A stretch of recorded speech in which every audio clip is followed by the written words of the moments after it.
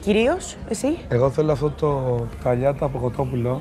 Ωραία. Και Και εγώ θέλει θέλω δεσποινίες. το μοσχαρίσιο φιλέτο. Ήθελα να παίξω σύστημα 0-0-11. Απλά δεν τράβαγε ο αντίπαλος. Θέλω να βγω να κάνω τσεκ. Κι εγώ. Αλλά τώρα μου το είχε πάρει, μου πάρει το παλτό. Κάποια στιγμή σηκώθηκε και έφυγε. Πράγμα το οποίο ήταν άκρο προσβλητικό. Είναι ένα άνθρωπο που γνωρίζεις ήδη λίγα λεπτά και πρέπει να το μάθεις. Είναι όλα εντάξει. Ναι, ναι. Γιατί; Τι έπαθε η κυρία. πήγε να κάνει τσιγάρο. Τι έγινε, για πες. Εμένα θα μου πει τώρα.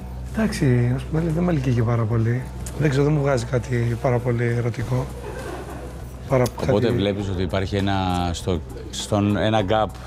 Ναι, ναι, ναι. Να βάλω δύο σφινάκια τώρα να πιούμε έτσι. Αμέ, τι ρωτάς; Ακριβώς επειδή ζήτησε. Θέλω να έχει ωραία δόντια, ωραίο χαμόγελο. Αχ, και δεν κοιτάω δόντια. Τι έχετε πάθει φέτος με τα Ναι, δόντια, και παιδιά; είναι Δεν έχει ωραίο χαμόγελο ο Δημητρή. Καθόλου. Καταρχήν μπορείς να Θε- ξαναέρθεις. Θέλω να πάρω τον κάμεραμάν μου, αυτός μου αρέσει.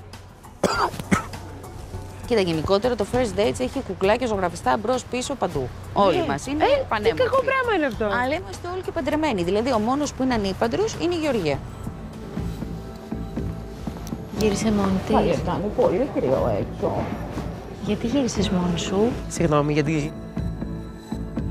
Δεν θα έφευγα γιατί είχα παραγγείλει. Και πεινούσα. Και δεν, είναι ευγενέστατος ο άνθρωπος. Το ότι εμένα δεν, δεν με ελκύει δεν σημαίνει ότι δεν είναι καλό παιδί.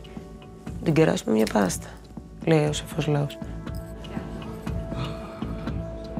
Είσαι καιρό ελεύθερη. Είμαι, ναι. Ευχαριστούμε πολύ. Αφού ήταν στον κόσμο, έτσι, τι να κάνω.